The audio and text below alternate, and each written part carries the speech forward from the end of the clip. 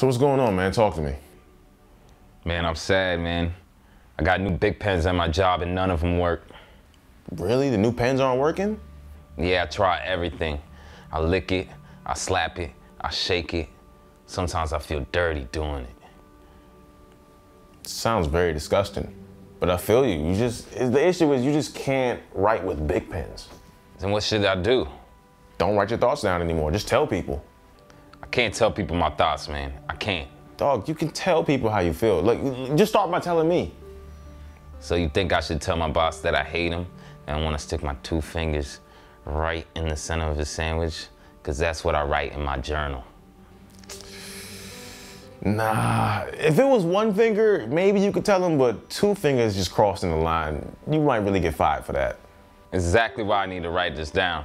Don't write anything down. Just do what everybody else is doing. Tweeted. it.